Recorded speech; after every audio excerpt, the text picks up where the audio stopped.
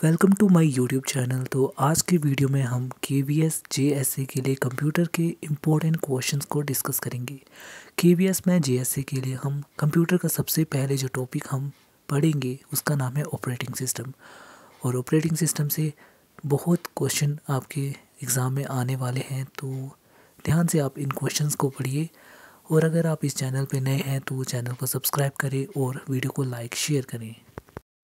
तो शुरू करते हैं हमारे फ़र्स्ट क्वेश्चन से। फ़र्स्ट क्वेश्चन है if there are multiple recycle bin for a hard disk अगर एक हार्ड डिस्क में मल्टीपल रिसाइकल बिन होती है तो हम इनमें से क्या कर सकते हैं? You can set the different size for each recycle bin और you can choose which recycle bin to use to store your deleted files you can make any one of them default recycle bin और none of the above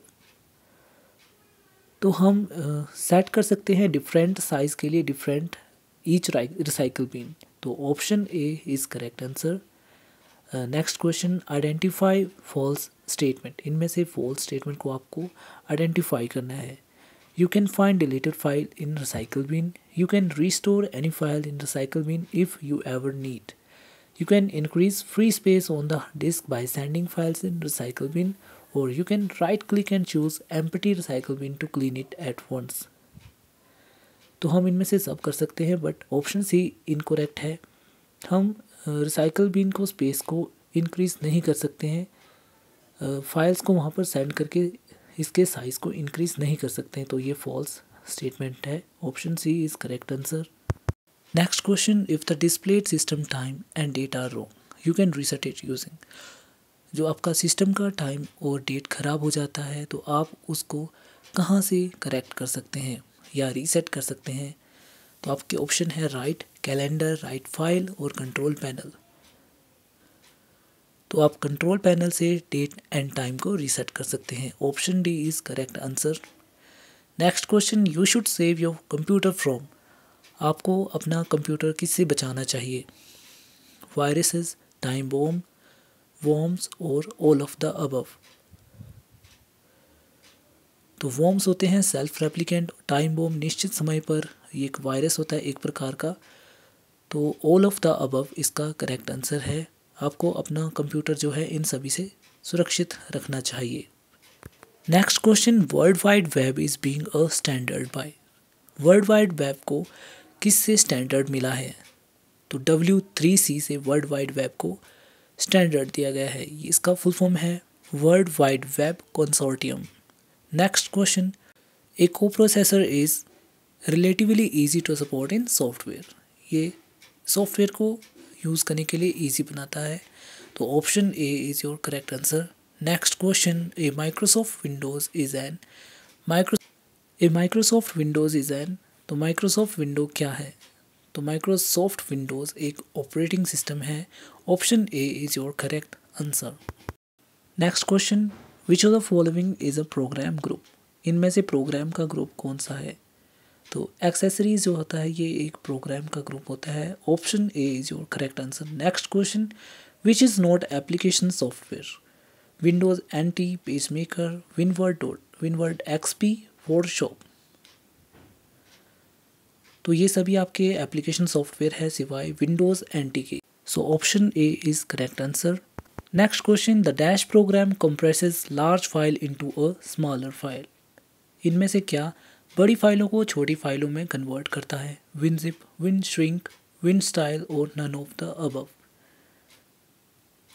तो WinZip आपका एक programme या software है जो कि large फाइलों को शॉर्ट या स्मॉल फ़ाइल में कन्वर्ट करता है. Option A is correct answer which of the following is an example of a real time operating system इनमें से रियल टाइम ऑपरेटिंग सिस्टम का कौन सा एग्ज़ाम्पल है Linux M S DOS Windows X P process control M S DOS single task single user single task का example है और process control जो है आपका रियल टाइम ऑपरेटिंग सिस्टम है option D is correct answer next question which of the following operating system does not implement the multi tasking truly तो इनमें से मल्टीटास्किंग किसमें पॉसिबल नहीं है? तो M S DOS single user single task है तो एम एस डोज इसका करेक्ट आंसर है।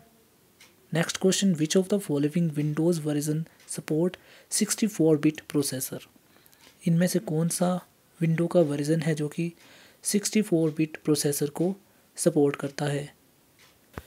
So Windows XP Windows version है जो कि 64 बिट प्रोसेसर को सपोर्ट करता है।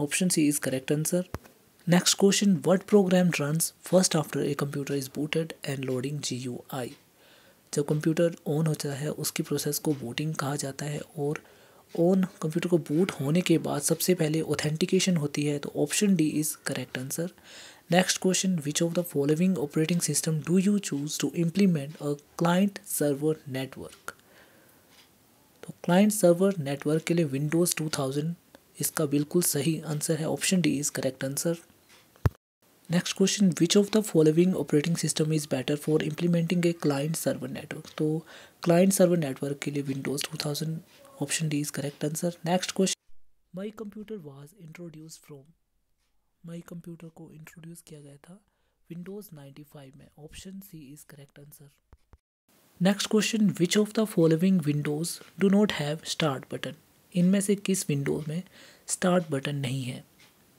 तो विंडोज़ एट में आपका स्टार्ट बटन नहीं है। Option C is correct answer Windows Vista Windows seven में स्टार्ट बटन होता है।